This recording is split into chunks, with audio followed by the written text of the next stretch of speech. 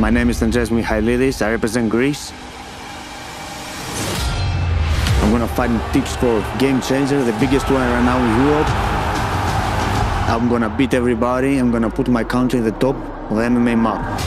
Proud Spartan Andreas Michailidis is champion of two Greek organizations and has fought in multiple UFC main events over the last three years. He even had a battle with the current champion, Alex Pereira.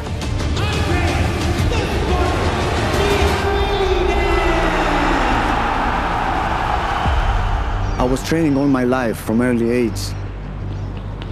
Mostly because of my father, who was a boxer, and he showed me the way of martial arts. I have a son right now, he's two years old. That motivates me a lot to win the prize. The truth is, the thing made me to go to this project is a big amount of money.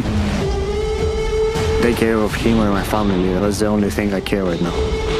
I'm gonna win this tournament because I see myself better in many ways. Are you kidding me? Oh my God, that was a good kick. Right now, MMA is uh, growing very big in Greece and people support me. It's very exciting, people fighting all around the world. Uh, it gives opportunities to people to change their life. I was preparing for this time uh, all my life. Έτοιμος να εκπροσωπήσω την Ελλάδα για ακόμη μια φορά, να κερδίσω το τουρνουά και να πάρω μαζί μου το μεγάλο έπαθλο. Η μαστίτε θα γίνει χαμός.